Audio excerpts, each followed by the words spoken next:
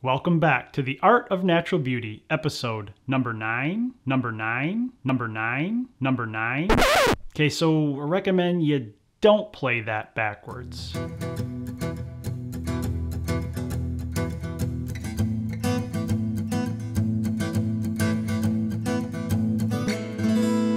Hey guys, welcome back. So, yeah, just uh, sitting here doing the initial lead in for this episode, episode number nine. I couldn't help be reminded of the Beatles' White Album in Revolution 9, you know, the song where John Lennon records his voice over and over, number nine, number nine. And if you play that backwards, it's supposed to say, like, turn me on, dead man. And uh, sitting here recording this over and over just to get a couple of takes in the can I'm repeating number nine, number nine, and uh, yeah. So uh, anyway, uh, this episode is going to be about uh, the movements of the view camera, and uh, you're going to notice right off the bat, sitting next to me is my trusted Ebony 4x5. And um, a little while back in 2015, I did an episode on the introduction to the view camera, and I'll put a link uh, to that here so you can check that out if you haven't seen it already. But it was one of my more popular videos. Um, I think it's got about 16,000 views at this point. And in that video, I kind of covered this camera system and large format systems in general and did a pretty comprehensive overview of the view camera. Um, however, two of you uh, pointed out that I did make a bit of mistake when I was referring to one of the movements of the camera. Two of you have caught that and said, ah, actually, that's called swing. And right you are. That is called swing. Um, you know, sometimes what happens in these recordings, uh, you're sitting here, you're you're on a roll, you're doing really well, and you know things just slip out, or you just you know make a mistake, say the wrong thing. And uh, but I wanted to kind of correct that today and uh, just go over again some of the movements of the view camera. I'm not really going to get deeply involved like I did in the last video because if you want to see more about it, you can just go back and check that one out. But I want to kind of amend uh, my mistake and, and just quickly go over some of the movements again. But before we do that, I want to thank uh, those of you that have purchased uh, The Art of Natural Beauty Michigan Two Peninsulas, my first uh, photographic photo coffee table book. And uh, I want to let you know that those are going to be out in the mail shortly, actually uh, getting them boxed up to send out today. So I want to thank Marshall Husted, Robert Jones, and Randy McHale for uh, making the purchase of those books. That means an awful lot to me um, to, to, that you guys uh, wanted to make that purchase. So I hope you enjoy the books and look for them. They'll be going out in the mail today. And uh, for those of you that haven't heard or don't know, I have uh, my first photo book available right now. It's uh, 24 pages and 13 of my photographs over the past four years or so, taken in the Leelanau Peninsula and in the Keweenaw Peninsula of Michigan.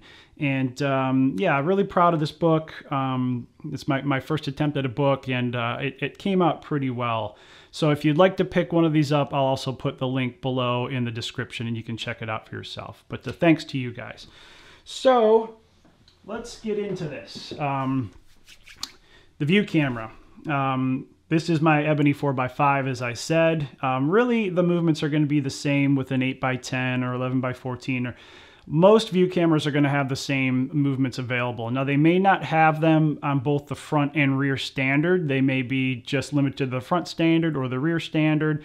Um, but typically, there's going to be five movements that you're going to be able to make with this camera to correct uh, for distortion or uh, focal plane uh, issues. Um, and really, if you think about the view camera, it's kind of like a large tilt shift lens is what, what it really is. It allows you for you to make those movements for compensation. And uh, it, it just has, you know, your focal plane, which is the front standard and where your lens is affixed. And then the rear standard is your, your film plane. So those two elements and the bellows really comprise of a view camera. So again, the front standard is the, the focal plane. It's where your focusing is going to be made and adjusted. And that's going to be done here on the side. You've got these little wheels that you can draw your lens and your front standard closer and further away from your rear standard. And that is what is going to determine your focus on your focal plane, which is your, your film plane here in the back or the ground glass while you're doing your composition. And then the rear standard is the rear of the camera, again, where you're going to be uh, composing and, and focusing on your ground glass and ultimately where you're going to put your film holder in to make your exposures.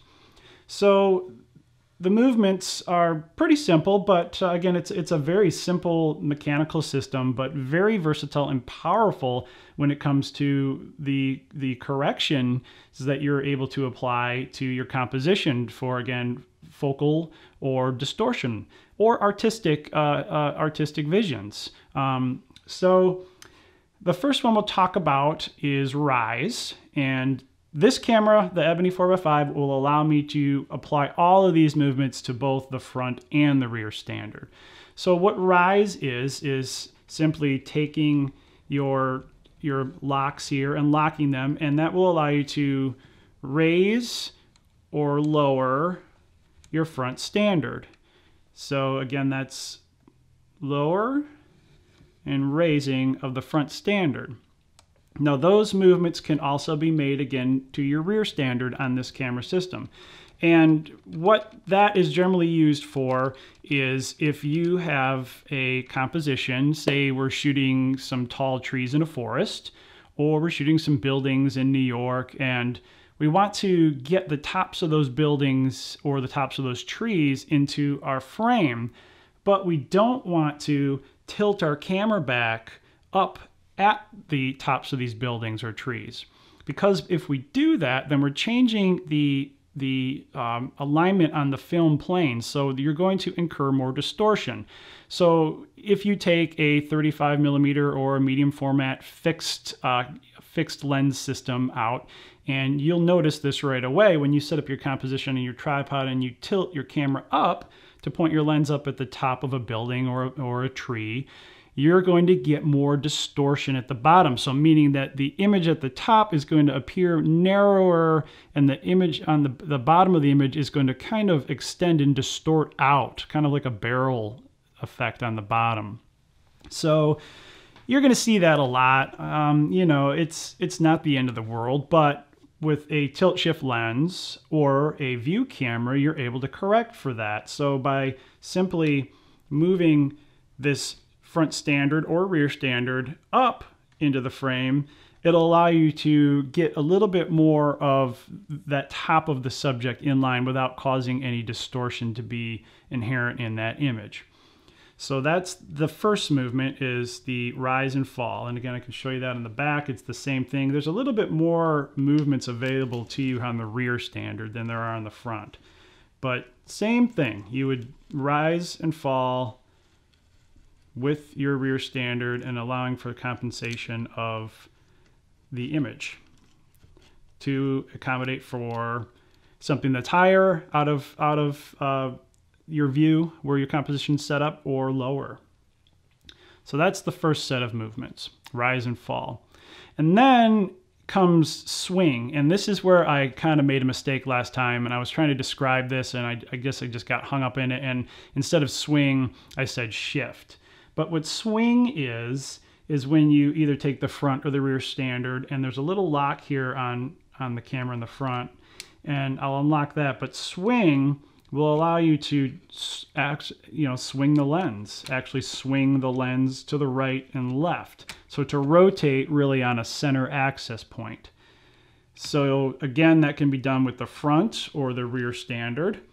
And uh, what that will allow you to compensate for is if you've got an object uh, in front of you and uh, it, it, it, you're correcting for horizontal distortion is what you're correcting for. So if you've got an object in front of you, say a vehicle, a car, or some large rocks, or, or maybe a wall, a rock wall, uh, the, the part of that image, if it's not uh, completely flat and perpendicular to your, to your lens plane, is going to be kind of on, a, on an angle. So it's going to kind of correct for that parallel angle that if if this was the front of say a car, my left hand and my right hand is the other side of the car. These are the two front bumpers. When I'm just directly pointed at it like this, this left bumper is going to appear larger and more distorted in, in the image, right? And the the right bumper is going to seem a little bit smaller. So it's just going to look like it's kind of got that fisheye look where whatever's closest to to the uh, focus plane and the film plane is going to seem to be larger. So to correct for that, to get it to actually look, comp- you know, to have the, the correct composition and not have any distortion to it, you would swing your lens, your front or rear standard out. And now you're kind of meeting the front of that vehicle more head on. So you're you're not going to be the both the right and left side of that vehicle are going to be right on the film plane as opposed to one being in front of the, the focus plane or behind the focus plane. So I guess one thing we should talk about is is the focal plane. And the focal plane really is if you picture it like a big window you're looking through. Everything on that window is going to be in focus and that's the, the plane of sharpest focus. Anything behind that window is going to appear out of focus. Anything in front of that window is going to appear out of focus. Now you can correct for that obviously with aperture. Uh, the smaller aperture that you have, it's going to enlarge for a greater depth of field, right? So if you shoot at say 1.4, uh, you're going to have a, a, real shallow depth of field, and you're going to like if you you know photograph somebody's face, you may focus on the eyes or the nose right here in the cheek area. And if you're at like f1.4, you're to have that real shallow depth of focus. Just the eyes and the nose are to appear in focus and it's to fall off, right? But if you if you stop down, you close that aperture to say f8 or f11, more of that subject is going to appear in focus. So that's kind of drawing everything closer to that that pane of glass, that window that you're looking through, or, or making that glass thicker. So if you do this, you're going to change the relationship of the focal plane and the film plane. And that's going to cause for only a certain point of your image to be in sharp focus. So if you're focusing on the front of that car, on both, you know, the, the right and left bumpers and the front grille, that area is going to appear in focus, but now in front of and behind it, you're going to lose focus. So what you need to do is you may need to adjust your rear standard somewhat and swing that out as well just to help compensate and check for that focus, but you're also going to have to shoot at a much smaller aperture just to make sure you're getting focus throughout the whole image, if that's your intention. And it may not be. You may be looking for that shallow depth of field. You may be looking for a certain area of your image to be in focus. And if that's the case, you're great. It's fine. If you're shooting landscapes, generally you're going to want everything to be in focus within your image from the foreground all the way through your subject into the background. So to do that, when you make these movements, you really need to check again uh, your focus with, with a loupe on your ground glass. Just move it all around, make sure everything's in focus, and you're going to want to stop down that lens on the front here so we're at 5.6 is all the way open on this lens. You'd want to stop down to whatever aperture you're going to need to shoot at to make sure you get everything in focus and check again. It's going to be much darker and hard to see, but you really need to check and make sure everything's in focus the way you want it to be when you're making especially the swing movements. This one right here is going to really alter that focal plane, okay? So, so very important, but a great way to correct for distortion of horizontal lines. This is where I kind of messed up last time. Uh, last time I referred to the the movement of swing as shift. And again, uh, swing is going to be when you take the camera and you swing either to the right or to the left, as we just talked about. Now, Shift is a lot like rise and fall, except it is a movement along the horizontal axis of the camera. So instead of that vertical up and down rise and fall, shift is really just shifting the front or rear standard to the right and left. So that is made by doing this adjustment or by pushing it back over to the left. And again, the same movements can be applied here with the rear standard. You can also shift it to the left or shift it over to the right. So why would you want to do that? Well, it's kind of like the same thing when you're applying your rise and fall.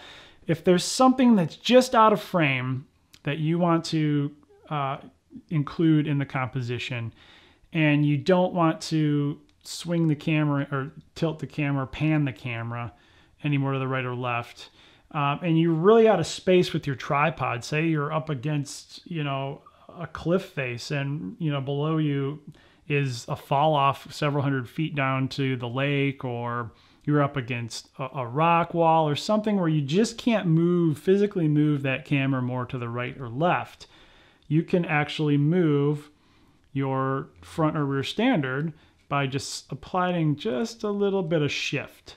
So you'd shift it over to the right, just to add a little bit more of that image on the right side in, or shift it over to the left. And that right there is called shift. So that's kind of the, the thing I misquoted last time, the movement I misquoted last time.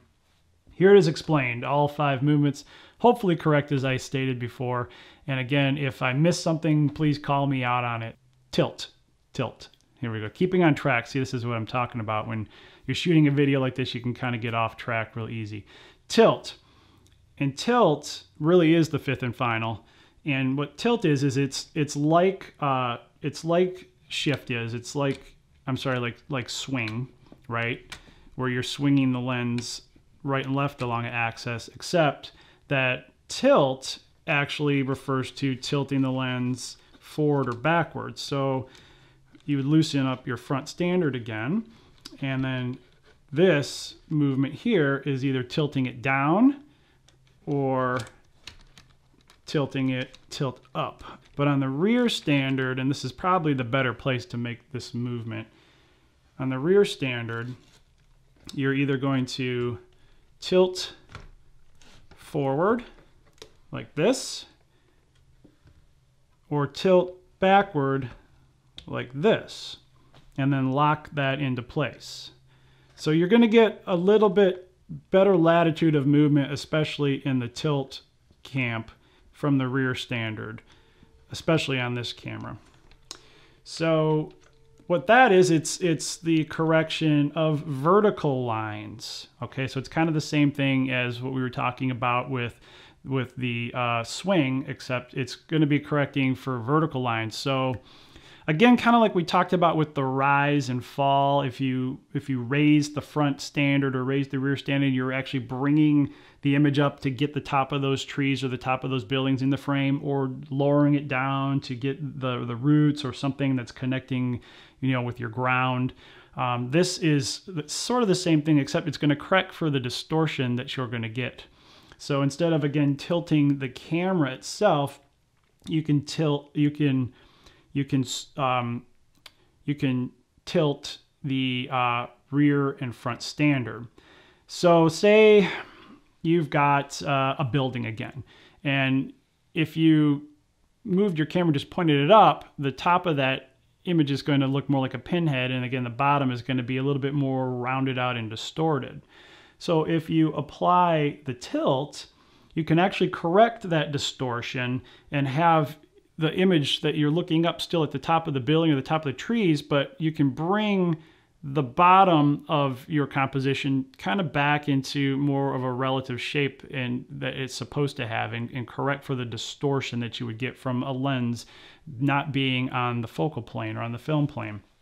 You can also use that if you want to emphasize a foreground area. So if you've got um, you know some rocks leading out to a lake or some some stumps or something in the foreground uh, mud cracks something like that. And you want to really emphasize that area make it seem larger. Instead of getting down lower to the ground with the camera itself where you're going to kind of minimize the distance between your foreground and your background if you're higher up on a tripod, you're going to have more of a field of transitional field and and see more of the transition from your foreground to your background. As you lower the camera, you're really kind of equaling things out a little bit. So you're going to see the foreground gradually going off and then the background. You're just not going to have as much depth in your photograph. But if you want to make that foreground appear that you've gotten down close to it and kind of that wide angle lens look, you could apply the tilt. So either tilting the front or rear standard. And so everything's going to be upside down and backwards again when you're working with the view camera because there is not a mirror inside of this and a prism to flip it around so we can see it correctly like there are in DSLR cameras.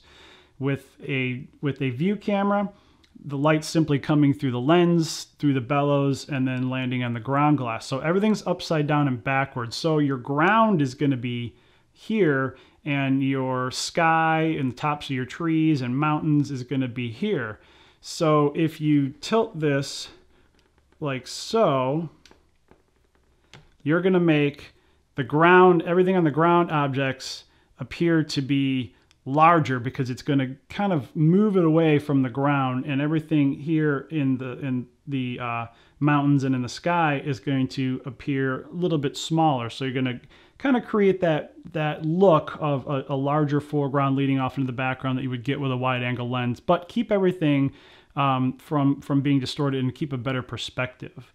And the same is said if you want to emphasize mountains or trees or clouds if you tilt forward like this, you're making the sky and the mountains and the trees presumably larger in the image and the elements in the front, the foreground, smaller. So depending on the effect you're going for, it's a very helpful movement um, to apply. And again, when you're doing these extreme tilts and shifts with the view camera, you're changing the focal plane immensely.